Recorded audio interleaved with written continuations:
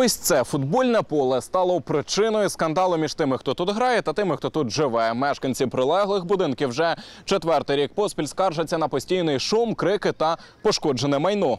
Пані Ірина мешкає якраз навпроти цього футбольного поля. Жінка каже, до постійного шуму вона вже якось звикла. А от до того, що м'ячі постійно залітають до її будинку, а нахабні підлітки без дозволу лізуть через паркан.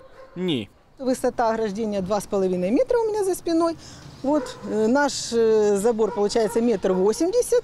И при ударе мяча, м, то есть ну, мяч просто по траектории залетает э, во двор, они перелазят через забор, не спрашивая разрешения, есть ли мы дома, нет нас дома. Ірина показує одне з багатьох відео, де підлітки приходять до неї по м'яч, який залетів до двору. І так каже жінка по кілька разів на день. Что случилось? А можете мяч, пожалуйста, убрать? Ну, Вы еще раз будете забивать? Мне ну, просто перекинули его, мы пришли забрать его. Ну, а если бы нас дома не было, тогда как? Тоді б вдерлись на приватну територію самостійно, твердить жінка.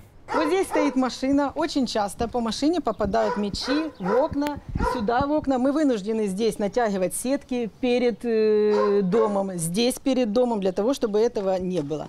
Мячи в основном залетают сюда, в огород. Дети перелазять через забор без розрішення, бігуть. Втім, є і ті, хто не вважає ситуацію аж такою глобальною проблемою. Голова місцевого СББ твердить, мешканців приватних будинків можна зрозуміти, але і дітей також. И можна можно понять. Извините, пожалуйста, но в многоэтажках живе много детей, которым действительно нужно где-то гулять. И лучше пусть они гоняют мяч по полю, чем пьют пиво. Та все ж голова ОСББ визнає, що огорожа футбольного поля занизька, і це питання було б непогано вирішити. Извините, пожалуйста, футбольное поле, да, сделано хорошо, все нормально, но сделали очень плохое ограждение. Ограждение сделано здесь неправильно. Оно, ну как, сделано абы как. Щодо оновлення огородження до місцевих депутатів та міської ради не раз зверталась пані Ірина. Втім, безрезультатно. Ремонт буде виконано за умови надходження відповідного фінансування. Ну, тобто, я так розумію, що це ніколи.